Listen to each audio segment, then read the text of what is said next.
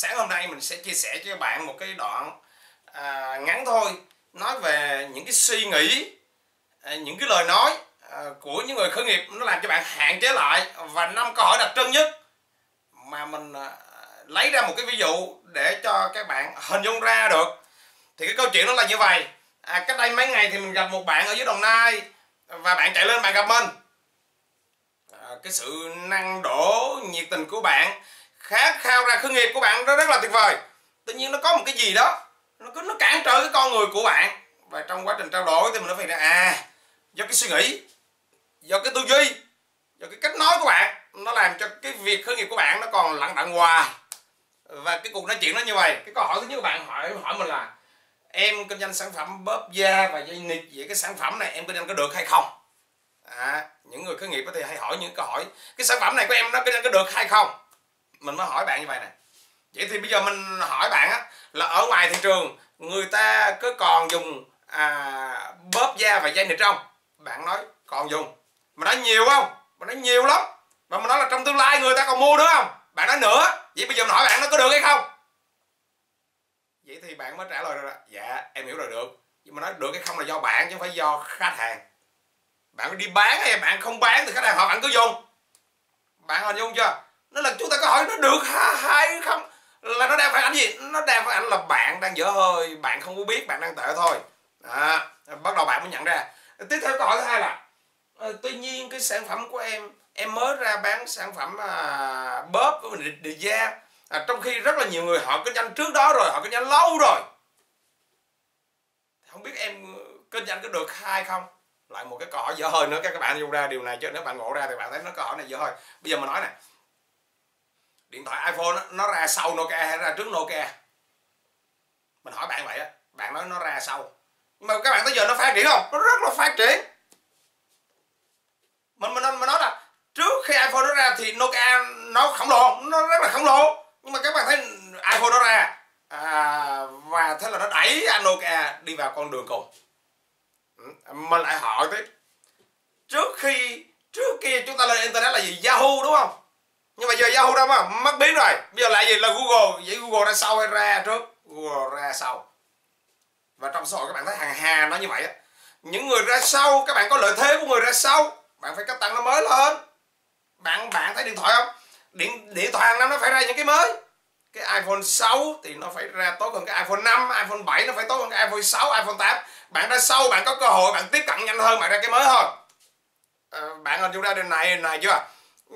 Bạn nói sau mà bạn cũ hơn, bạn là hậu người ta thì bạn thất bại là đúng rồi.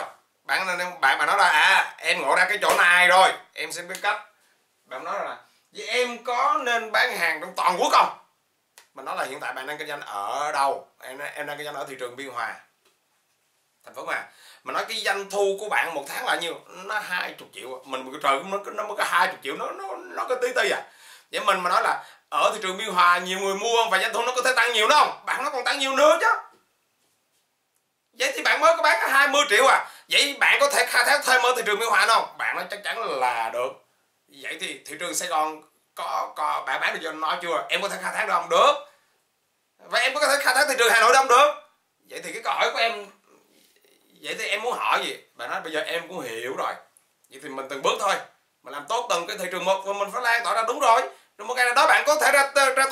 lựa chứ. Các bạn thấy không? Tại sao chúng chúng chúng ta là giới hạn chúng ta nhỉ? Ok mà. Bạn nói là vậy em ít vốn quá. À, em kinh doanh được hay không?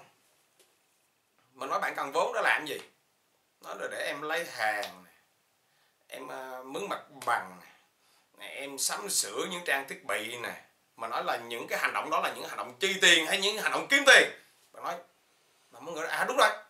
Hành động đó là những là những hành động chi tiền lấy tiền ra bỏ tiền tiền ra. Mình nhưng mà nói là tuy nhiên một người làm làm kinh doanh là kiếm tiền hay là chi tiền bạn nói là kiếm tiền. Vậy thì mỗi ngày người kinh doanh là thức dậy là kiếm tiền về hay là chi tiền ra? Bạn nói là kiếm tiền về. Mọi người nói là kiếm tiền về. Vậy thì bạn có vốn để làm gì? Để bạn làm chi tiền đúng đúng đúng, đúng không?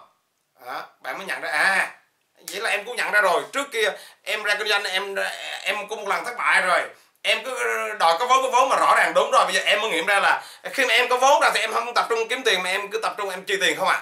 Đó, mình nói là hiện tại em đang có 150 triệu không biết là em đủ kinh doanh chưa? Mình nói là 150 triệu bạn làm cái gì? Bạn nói bạn làm hàng loạt những thứ mà vừa rồi mình nói mặt bằng abc vậy đó mà nói là nếu mà bạn đã mướn mặt bằng rồi, bạn mua sản phẩm rồi, bạn bạn bỏ ra hết một năm 50 triệu rồi, bạn xem là bạn đủ điều kiện để kinh doanh rồi, mà bạn không bán hàng được thì dẫn đến gì? Bạn nói là mất tiền.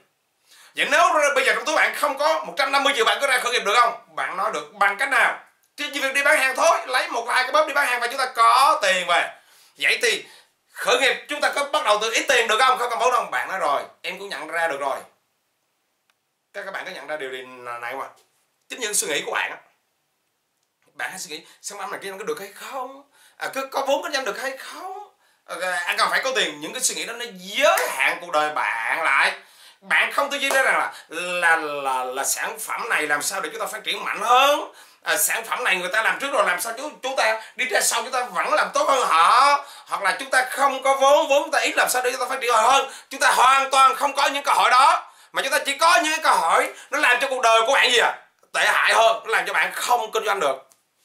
Vừa rồi là năm những câu hỏi rất là phổ biến mà nó làm cho bạn bị giới hạn lại.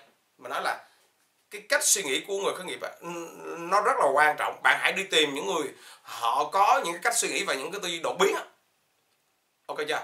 Họ sẽ giúp cho bạn thoát ra. À, bản thân mình cũng vậy mình hướng dẫn cho rất là nhiều bạn thoát ra rồi. Nếu các bạn à, thấy những điều này hữu ích thì các bạn hãy thường xuyên xem những cái đoạn video mình mình sắp tới mình sẽ đưa lên nhiều lắm, vài trăm đoạn lận. Và hãy đăng ký. Đi xuống dưới các bạn thấy có nút đăng ký á, bạn đăng ký cái kênh youtube này để các bạn gì ạ? Theo dõi nó mỗi ngày. Hoặc là bạn lên google search cái trang lên lên facebook, bạn lên facebook, bạn search nguyễn thái duy. Và bạn kết nối với cái trang facebook của mình. Bạn sẽ theo dõi, hàng ngày hàng ngày mình chia sẻ những cái đoạn và bạn sẽ học được từ đó và tự nhiên các bạn sẽ thay đổi à, cảm ơn các bạn. Chúc cho hành trình khởi nghiệp các bạn rất là tuyệt vời.